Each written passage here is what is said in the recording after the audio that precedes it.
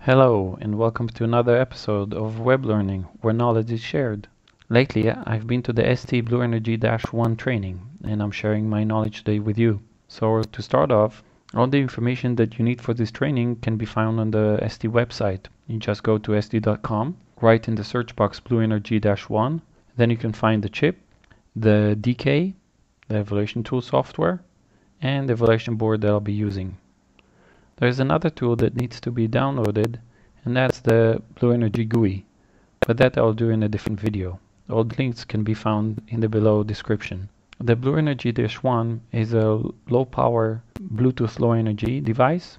It can operate from 1.7 to 3.6 and the user can write his own code. The device has a programmable 160 KB flash. From it, the user can write about 100k. This depends on how many profiles uh, the user wants to load and what type of communication he needs to use. The device has also SRAM, UART, SPI, I2C, GPIOs, and all the other functions. There are two types of uh, high-speed crystals can be used, 16 or 32 megahertz. This is a must. Usually uh, 16 is recommended because that's the default that the device is loading. But if you need to use a 32 megahertz, you can do that also. There is another crystal that can be connected, the 32 kilohertz, but this is not mandatory. If you use external crystal oscillator, the device will have a better power performance, but again, you don't have to use it and to use the internal ring oscillator in order to wake up and sleep. The software package for the BlueNRG is the one that you see here and you saw it at the beginning of the video. It has the Navigator PC application that you see here. It has the Flasher utility, a Bluetooth Low Energy demonstration application, the CMSIS files, peripherals drivers, the SDK and HAL drivers, and the Kit platform support. All this can be found in the original installation program. All this can be found in the original installation program under your local drive, program files, ST Microelectronics, BlueNRG, DK, and depending on the version that you're using. So you can see the application, the docs, the firmware, the library, the PC driver, the project and utility. This can be also accessible through the software. In the software itself, you have the demonstration application, the development kit, release notes, and license files. What we're interested in just the first two. In the development kits, as of today, there is only one development kit, and this is the one I have next to me. In this window, you can either hover the mouse over the connection and you can see it highlighted on what is the connection, or you can hover over the wording and it will hi highlight the connection. The BlueNRG itself sits right at the front and as I said before it has a built-in microcontroller that the user can write his own code. It's a Cortex M0 because it shares communication with the user program. Usually it's recommended not to put heavy computational software and just use the BlueNRG one for general data retrieving, sending, um, beacon, and other things like that. The BlueNRG has on its right side the 16 megahertz uh, crystal oscillator, and on the left side there is the 32 kilohertz. Then you have the JTAG SWD connector. This is used to program the BlueNRG 1 directly. This board doesn't have an ST-Link, an external ST-Link has to be used. Again, the ST-Link has to be updated in order to recognize the BlueNRG 1 and this you can find in one of my videos on how to update the ST-Link. It also has two MEMS sensors. One is a pressure sensor and the other one is a accelerometer and you have the SMA connector for the antenna and you have a USB to UART. There are push buttons 1 and 2 and a reset button that can be also used to put the board in the DFU mode to update the firmware of the USB to UART device. In order, if you want to do that, you need to disconnect the power of the board, hold the reset button, connect the power to the board, and then you have the middle LED flashing red. This means that the board is in the DFU mode and you can program the, the board. On the demonstration application, you have basic examples for BlueNRG Hello World and a sleep test. You have BLE demonstration and test applications that I'll go through them in a minute. And you have peripheral driver examples where you can see how to use the SPI, I2C, UART, Watchdog, real-time clock, GPIO, ADC, and SysTick. In the BLE demonstration test application, you have a beacon and chat, chat master and slave, HID peripheral, remote control, and different other applications. The, the DTM needs to be used when you load the GUI, and the right software for this board is the UART 16 megahertz. This will load the actual code that's needed in order for the GUI to communicate with the BlueNRG. So let's start with uh, one of the demos. We'll go to the BLE chat. And now we need to decide if we're the client or the server. Now, if you don't know anything about Bluetooth and uh, BLE, the first thing that comes to your mind is probably to put the, on the board a client. Let me explain on the difference between a client and the server. So to understand how it works and how the different client server um, naming is, let's take the chat example. Now as a rule of thumb, whoever has the information will be the server or the master. There are different namings at different companies and at different websites, but all of them are the same. So whoever has the information will be called a server or a master. Whoever will take the information, in this example a mobile phone, will be the client or the slave. Again, different naming, but they're doing the same thing.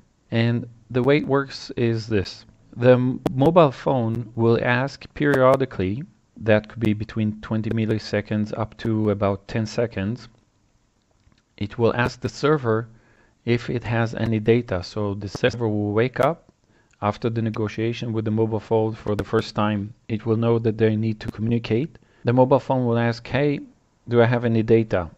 The server will say probably no, most of the time. At the second time, if we have data, the client will again ask the server if there is any data. The server will say yes. The mobile phone will ask for the data. And the server will give the data in the this example like any character like ABC. This is a simple read. There's another way to send the data and that's called notification. In this option, the client will ask the server, is there any data? And the server will say yes and will immediately send the information. So coming back to our demo, we understand now that we'll need the server configuration because our board will have the information and the mobile phone will be the client. At this stage the software is telling me that I don't have any board. I'll connect the board and it recognizes the board under COM3 and I can go to the documents, to the projects or I can flash and run. I click flash and run. Now if you have any issues reloading the software sometimes you sometimes you can have an issue like right now with communication error on the board. One way is just disconnect the board, reconnect it. So it's loading now the code. If you need, uh, if you still still has those issues, you'll need to update the firmware, and this you do by uh, DFU. As I said, click on the reset button, connect the power, then you'll see the red flash. And then you need to use the software. You need the software GUI in order to update the board. But sometimes even though you flash the board you'll still have these errors and you have to try a few times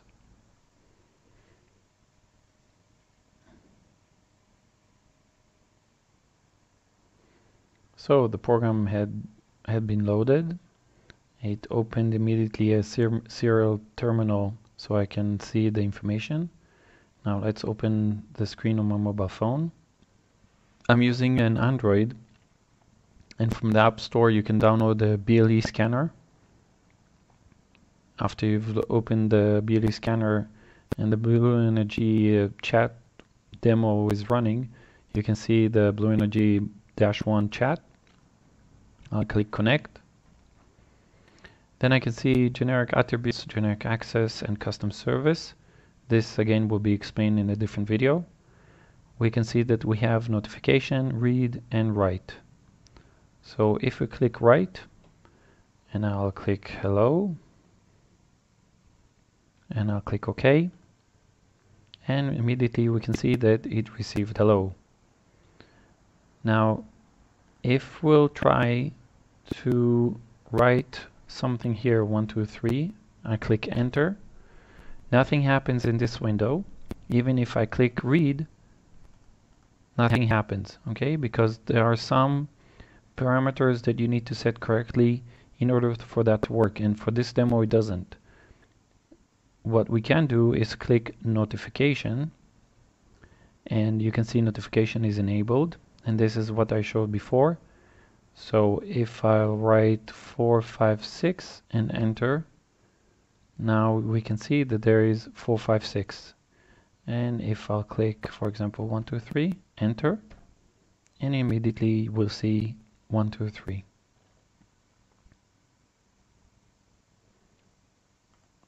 So back to the BlueNRG Navigator, we'll go back.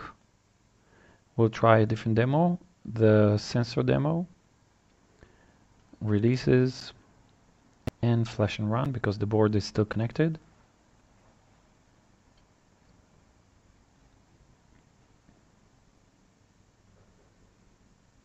And on the mobile phone, there is a different app that you can find on the App Store. It's called BlueNRG. This is the BlueNRG demo from ST.